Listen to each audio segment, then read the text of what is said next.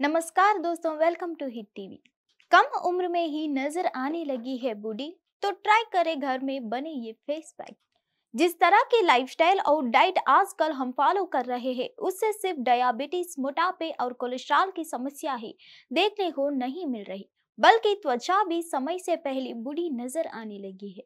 अगर आप भी तीस की उम्र में नज़र आने लगी है पचास की तो घर में तैयार होने वाले इन फेस पैक से दूर कर सकती है ये समस्या। जिस तरह के वातावरण में हम रह रहे हैं, जिस तरह का खान पान हम ले रहे हैं और जिस तरह की लाइफस्टाइल फॉलो कर रहे हैं, उसकी वजह से ही हम आज कम उम्र में ही कई बीमारियों का शिकार हो रहे हैं और इसका असर चेहरे पर भी नज़र आ रहा है। इन चीज़ों को चलते तीस की उम्र में ही त्वचा पचास की नज़र आने लगी है।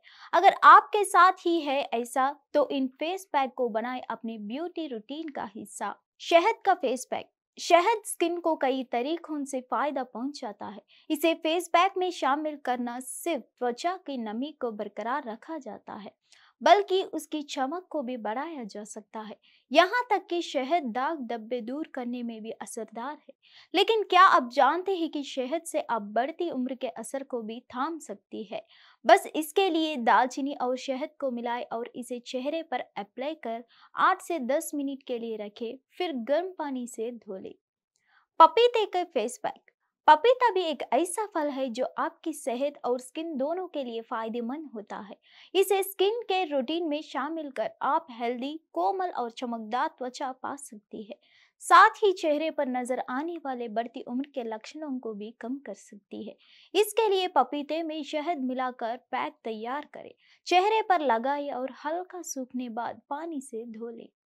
बादाम और दूध का फेस पैक बादाम में त्वचा को हाइड्रेट रखने के गुण होते हैं।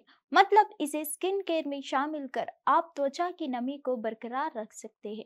कम उम्र में ही अगर आपका चेहरे पर बुढ़ापा नज़र आने लगा है तो इसकी एक बड़ी वजह नमी की कमी होती है।